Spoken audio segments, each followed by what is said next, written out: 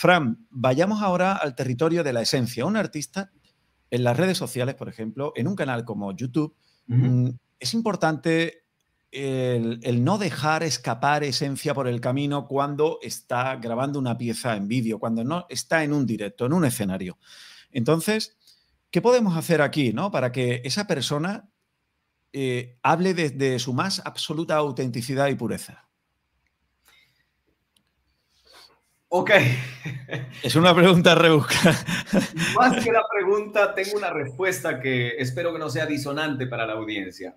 Algo que aprendí del método de Stanislavski y que coincide con el mundo del coaching que, que nosotros manejamos, aprendimos que ser 100% auténtico no es posible y no es necesario. Cuando Qué bueno es esto, ¿eh? Qué bueno es esto cuando todo el mundo está como obsesionado por ser auténtico y puro. Piensa en esto, Dani. A ti y a mí nos invitan a un matrimonio. Es de noche y es en un lugar espectacular.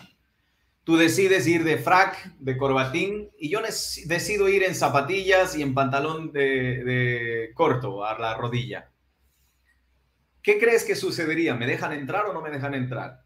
Siendo yo, ese soy yo, pero si no estoy para el contexto, eh, no le conviene a ese contexto que yo sea yo.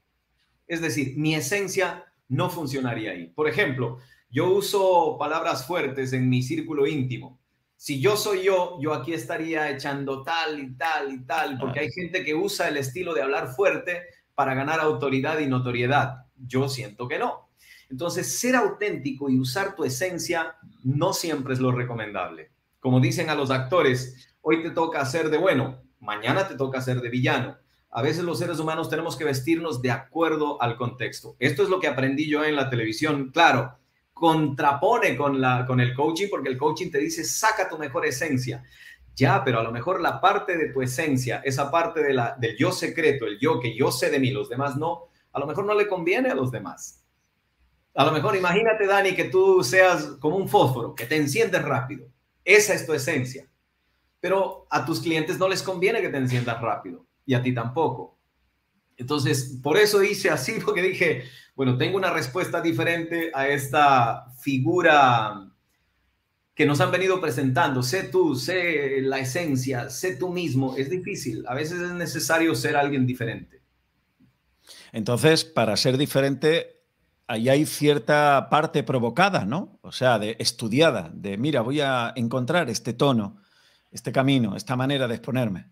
¿Sí? Claro, por ejemplo, yo escucho a Dani y mm, conforme lo que te he ido escuchando, no veo que necesites, eh, me disculpo con ustedes porque ya digo, en público no, no hago esto, pero no te escucho a ti en el tono diciendo, ah, qué mierdas, que no sé qué, que no sé cuánto. No te veo en ese tono. ¿Sí me explico? pero estoy seguro que tú en la intimidad de tus amigos hablas palabras fuertes. ¿Ves? Esa de alguna manera es tu esencia.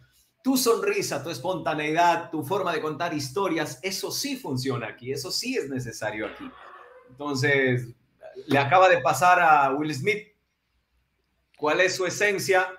Se cabrió, hablaron de su mujer, muchos dirán, no, la violencia trae violencia, pero yo, conociendo mi esencia y mi ser, si hablan de mi hijo, de mi madre o de mi esposa, yo hubiera hecho igual. Que me critiquen, sí, es lógico que me critiquen. No está bien la violencia, no hay nada que lo justifique, pero si a mí me hacen eso, yo hubiera hecho igual.